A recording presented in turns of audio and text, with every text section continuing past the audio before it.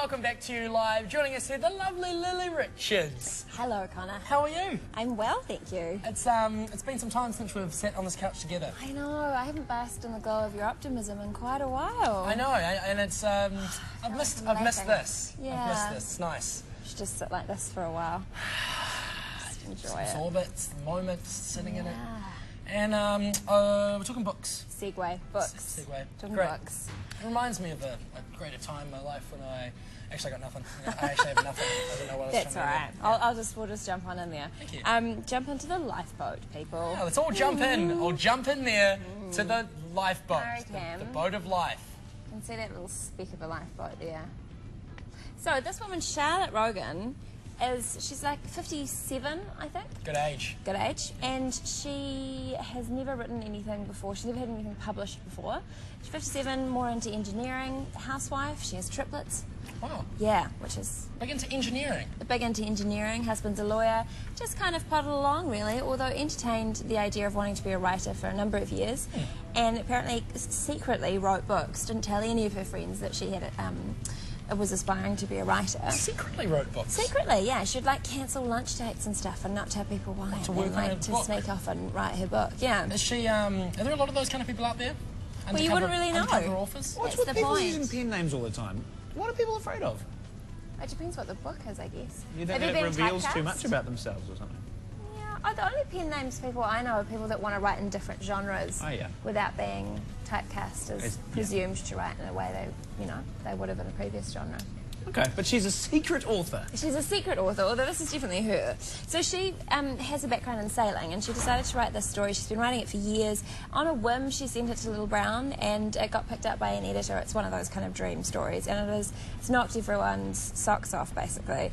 Um, yeah, off. bam, done. Mine were off. Um, and it's a really, really good story in Hmm. terms of the sense that it's really easy read. I almost say that as though like it's a bad thing that it's easy to read and it's really enjoyable, Hmm. but. It's great. Like I read it in a couple of days. Didn't take long. Completely absorbed page turner. The plot is that um, this woman Grace, who's recently married, and it's it's fiction, but it's set like roughly two years after the Titanic sank. Mm. So it's like the early 19th, oh, 19th century. Yeah. Um, and what happens is they're on an ocean liner and it sinks pre- predictably. I've, you know, at the moment, I'm just I'm thinking of a thinking of a, a thing that happened in the world. Thinking of a Titanic theme. Yeah. It's kind of like that. Well, yeah, it's like Titanic. So it's, uh, but the thing is that it wasn't at night, and So the big um, differences are, it wasn't at Big night. difference. It wasn't at night. Smaller boat. maybe smaller boat, concomitant size of boat, but um, sort of similar problem with that everyone couldn't fit on the lifeboats, yada yada yada. You thought they'd sorted this, but Yeah. they didn't. Um, so the wealthy and the rich and the white and the whatever get on these boats, and they're stuck at sea for 21 days. All right. Um, and the book is primarily set, it's her diary that she writes because she's, you know, that she's being prosecuted after the fact. She's on trial for murder. And the story is, in retrospect, it's her diary of, of the time spent on the boat, 21 days. And what I love about it is it's like, bam, it's straight in there. You're not, you're not pissing around. Yeah, I like that.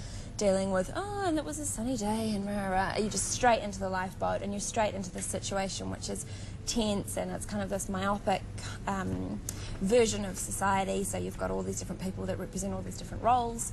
Uh, it's sort of like a philosophy 101 ethics, you know, book. Be good for good to read if you're interested in that, because it deals with all of those problems. But really interesting page turner.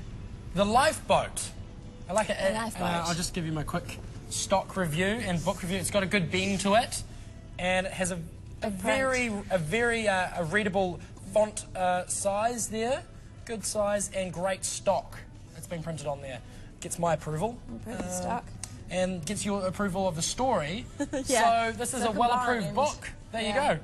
Just, just a small thirty-seven dollars for a, for an investment that will only give. You know. Totally. 21 days 21 days at stuck sea, on a boat. stuck with the same people, with obviously very limited amounts of food. Yeah. You'd go so you crazy. normally you run out of you run out of supplies sort of a few days into it, generally speaking. And all of the people they were over the, the lifeboats only comfort, comfortably seated forty, but there was like um, more than that on there. So Who would you least like to be stuck with on a lifeboat for 21 days?